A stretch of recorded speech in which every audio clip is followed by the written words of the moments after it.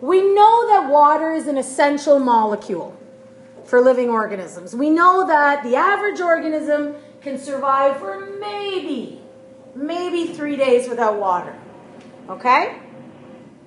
But why is water so essential? Why is it that water is so important to living organisms? And it's not because we have it in our cells. It's not because we have water vacuoles. We have water vacuoles for the following reasons. Okay, I'm going to talk about five things that water does, and I'm going to try and give you examples of those things. Okay? So, water carries out five very essential things in living organisms.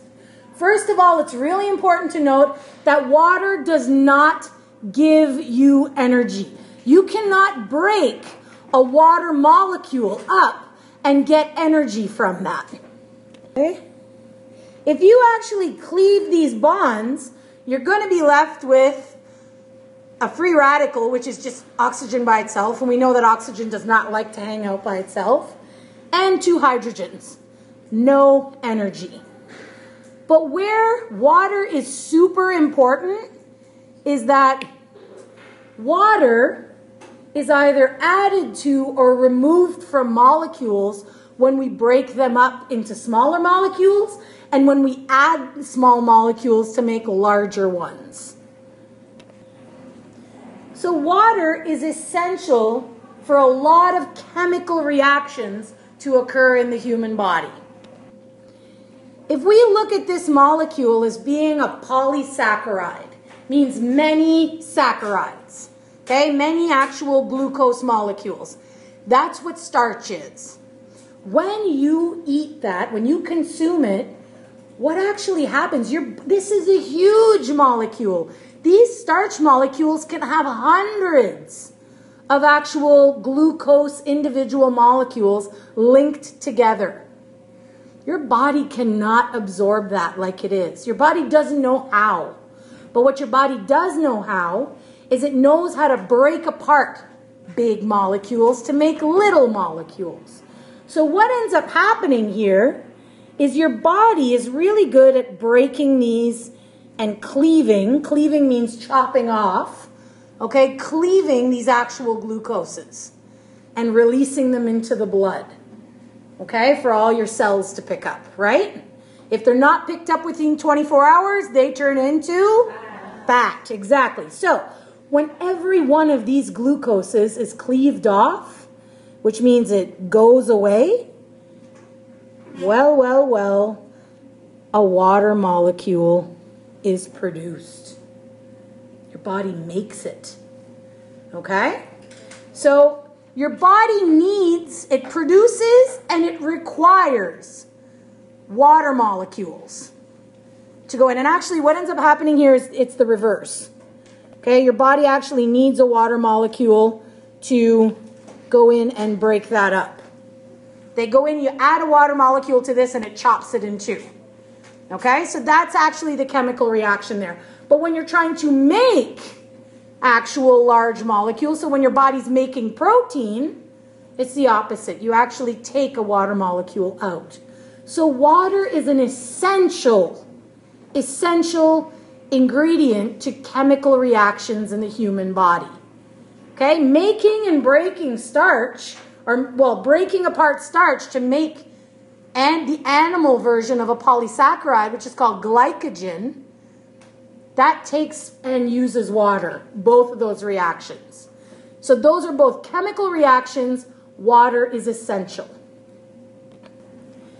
We know that blood is responsible. It's that liquid suspension that carries not only our blood cells, but it carries nutrients from the digestive system throughout the entire body.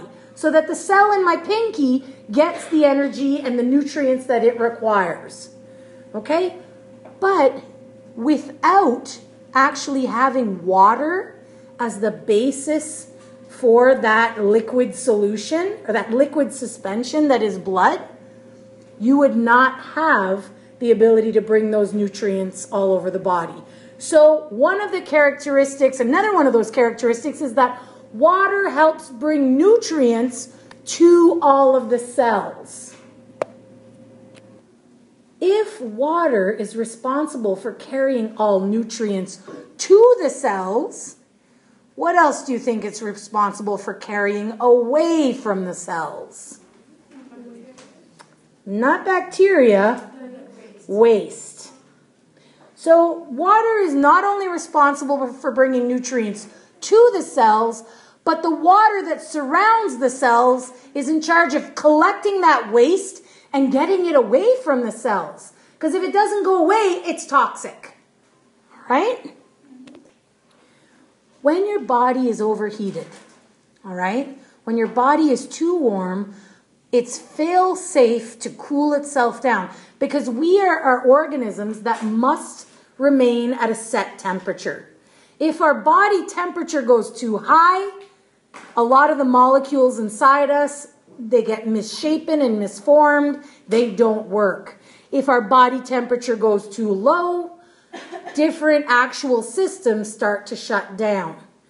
So when the body is too warm, because when you start moving your muscles, if you are an athlete, okay, or even if you're in gym class here, you start moving your muscles, movement creates heat.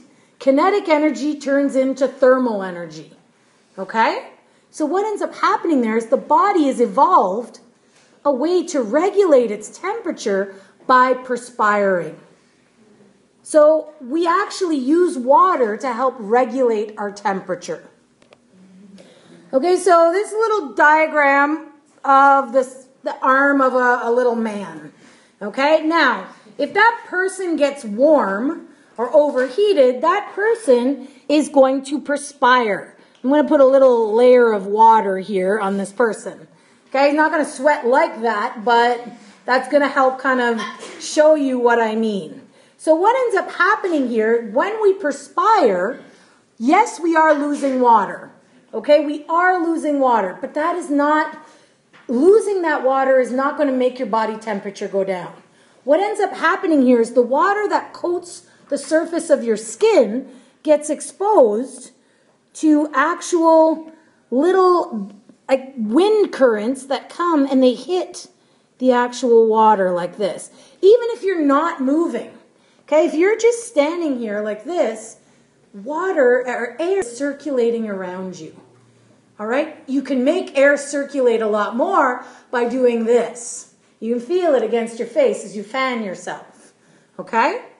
But by doing that, that cool air is going to hit that moist layer on the skin and it's going to cool it off. It's going to bring the temperature down. That is the point of sweating. All right? Your body is designed to basically cushion your bones because your bones are structurally hard substances. And to have bone on bone rubbing all right, at all of your joints would cause the bone to wear down. And if you're somebody who is your age, you might not be done growing. You may be able to make more bone. But if you're somebody who is my age, your ability to make new bone and grow, not so much. Okay, yes, I can still make new bone if my bone breaks, and I do constantly make new bone to replace dead bone cells. But in terms of wearing of bones, okay, you don't want that because A, it's excruciating, and B, you would wear down your bones and it would make movement very, very difficult. So, water is used to actually lubricate now water and, and connective tissue. It's not just water, okay, but you've got water that separates anytime you've got bone coming into contact with another bone. So we say that water lubricates, okay, different joints throughout the body. So a lubricant is something that makes movement easier, less friction.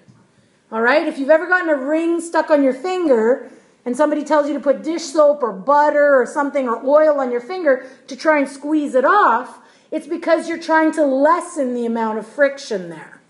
That is what water does in the case of bones.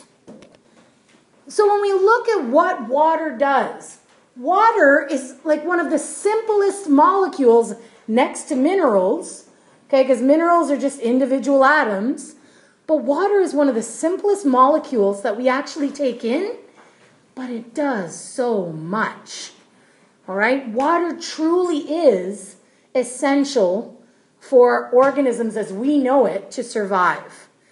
Because if any one of these things breaks down, the organism breaks down. The organism ceases to function properly.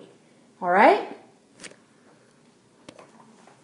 That's a really good question. A lubricant is something that is going to lessen the amount of friction. It's going to, to make friction not a non-issue. You need that because every one of your bones in your body is connected to another bone in one way or another. And if friction was an issue, A, you would overheat, and B, you'd be in a lot of pain.